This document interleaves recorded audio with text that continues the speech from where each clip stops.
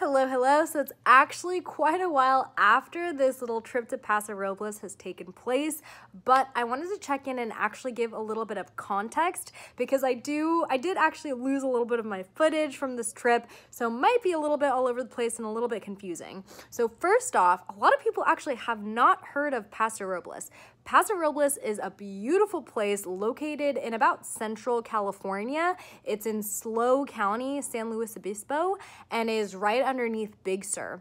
It's also really known for their wine country, and it's because it has the rolling hills, it has the perfect weather to actually grow grapes, and you'll see that a lot of a lot of wine. If you've seen where it's coming from, you'll usually see Napa or you'll see Paso Robles, which is an amazing place. It's actually one of the biggest places for wine culture. So my dad is actually in the wine business, and he actually has Rosa Vineyard where he's making and harvesting harvesting his own grapes for wine, which he'll be picking in October. But since this is happening in April, it's the big season where you actually need to work with the soil, start, you know, going through the process of grapes. I'm still learning about it, I'm still new to it. But I am very familiar with wine as I've been doing more wine tastings, so we've definitely experienced that in Paso Robles. Also, where I'm staying at in this vlog is actually a place called San Simeon. Um, it's famous for Hearst Castle, and that is not too far from Paso Robles. Paso Robles is kind of inner, and then if you take this highway called the 46, then you'll come to San Simeon, which is right along the beach. It's also very known for the tons and tons of elephant seals that you will see. So there's so many seals. I didn't go in peak season where the seals are, but it is just so much nature, so many different animals that you will see. If you haven't been to Paso Robles, you should definitely, definitely go. All right, so here's the vlog. Good morning slash it's actually afternoon, but I'm starting the vlog off here. We're doing a little weekend trip and currently about to fill up gas at the gas station, making a pit stop. I did make a stop in Santa Barbara and it's day two of my all vegan month. Um, so stopped by a coffee shop, got a cold brew, broke fast around 1.30 p.m. Um, I also got a gluten-free bagel. I usually am not all about the processed whatever and stuff, but they didn't have many options. Pretty much everything had animal product, um, but I did get their avocado everything bagel situation with a gluten-free bagel and then also no cheese but they definitely were generous with the avocado so i was stoked about that feeling really fulfilled got to visit a friend over there and now heading up to Paso Robles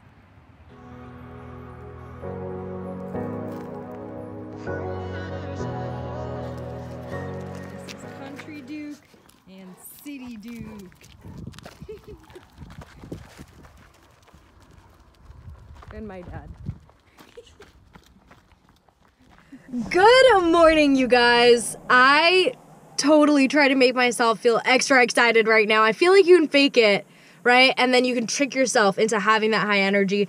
I did not sleep. I feel really delirious, but I'm in the most beautiful area ever. I'm gonna step outside and I had to pull over. The water is literally aquamarine. I'm in San Simeon. I'm up here visiting my dad. He spends a lot of time winemaking in Paso Robles. And I'm here to kind of just take you through the Paso Robles experience, the wine experience. Um, but I want to step out and show you this water. It's beautiful. It's like freaking aquamarine colored.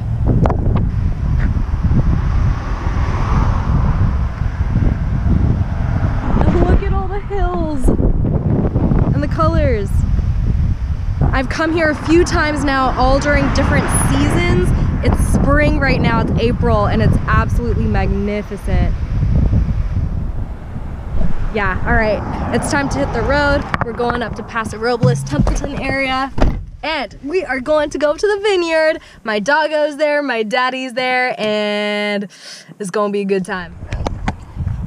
Okay, Last time I was here, it was November, and now it's April. No grapes, no leaves at all, but so luscious and green. This is Rocky Creek Cellars. Um, grabbing my little doggo. Oh my gosh, horsey. Wow. So beautiful. Oh. He's saying hello. So cute. Well, I'm gonna grab Duco and we're gonna go meet my daddy-o. Horse is following. We're gonna go meet my dad and see what he's up to. He's down the road. We found Duke. Duke, come on. Okay, Duco and I found my dad. He's literally out there on a tractor. Don't know what he's doing, but we'll go find out. Duke, go find Grandpa. he's having so much fun here. Okay, what are you doing right now on the tractor? Oh, I am uh, tilling the vineyard Why do you have to till the vineyard? uh, to prepare for this uh, coming season. What's the season that the grapes grow in? From January until October. January the bud breaks. October you do the harvest in California. And then what kind of grapes are growing here? Pinot Noir. And Duke's really curious.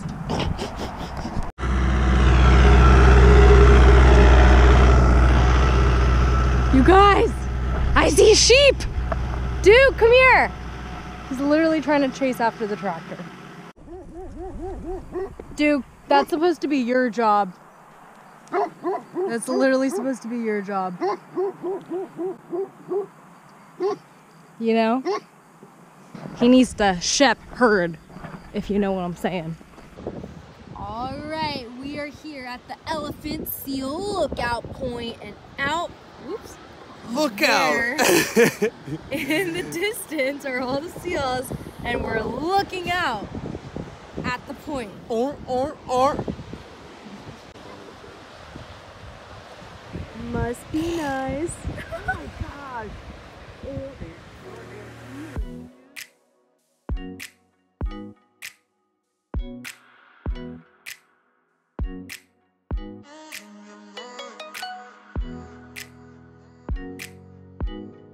My hand in there.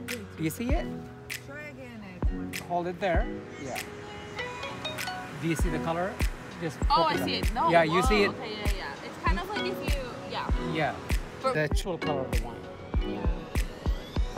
Okay. The skirt is around it, Mm-hmm. and then in the middle of the, the core area. Yeah. body, right? And you can see the difference. Do you see the difference? The, the right, the one that she brought, the proprietor's one, is darker, richer. What up, fam bam? So it is my last day here for the weekend. It's actually Monday here in the Paso Robles area. I'm staying here in San Simeon. Um, San Simeon is a beach town city. It's a very small town. It's not even a city, but look, you can see the ocean from here. It's so beautiful. Literally a two minute walk to the ocean. You'll see like California condors, which are these huge vulture looking birds. Amazing here.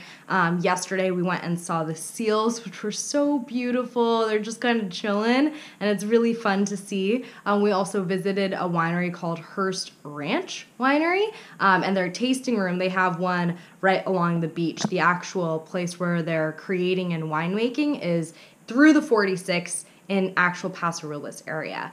Um, so, this is the plan for today.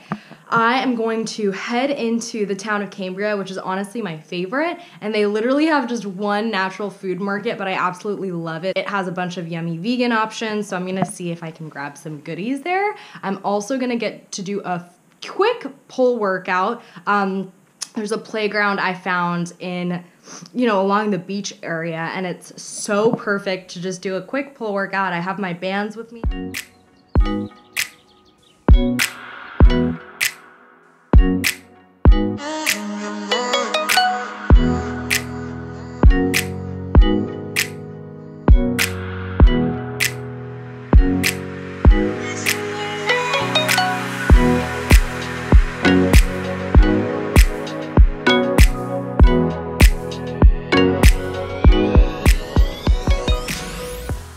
So that was my Paso Robles experience, and I definitely ate very plant based. Not my ideal way of eating because I love, you know, cooking as much as possible, but because I wasn't at a hotel, I try to make do with the lemons I had, if you know what I'm saying. But I have a few recommendations. If you are either vegan or you love the plant based food scene, there's a place called the Reamery. It's literally a place dedicated to vegan cheese in Paso Robles, and they also have kind of a deli style place for sandwiches. Really good, and definitely you can pick up amazing vegan cheese there.